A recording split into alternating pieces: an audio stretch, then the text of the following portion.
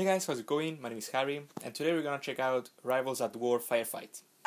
This is essentially a card game that lets you control your warriors in battle, which is pretty interesting, but it has just one negative point, and I would say that's the energy bar. We're gonna jump straight to one battle so you can see how this game goes. We're gonna choose a random mission. Yeah, we're gonna. Yeah. So you get dropped into battle and you have to control your territory.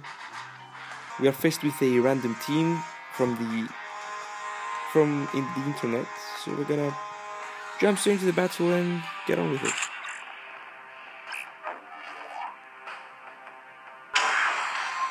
We've got basic controls. You move by touching the right, the left side of the screen, area within sight.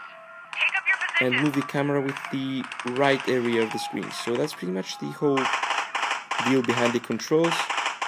The aiming is done automatically when the enemy is within reach and within your sight. So your part of the game is to just aim correctly and kill your enemies. That's pretty much it. And you have to control your uh, your area that you need to control in order to succeed in the mission.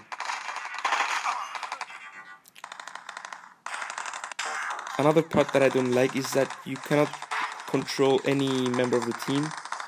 You can only control your squad leader, I'd say. Which is fine, but I would like to see some switching between players and different specialties like a medic or the different uh, varieties you have in the game. Restored mission area control.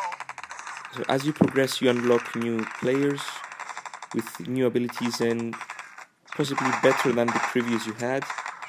And your goal is to build the ultimate team. It's a really fun game, and I would definitely recommend trying it out if you don't mind waiting for the energy bar to refill. It's a great shooting game, and you should definitely try it out. So leave a like and subscribe if you enjoyed the video. Thanks for watching, guys.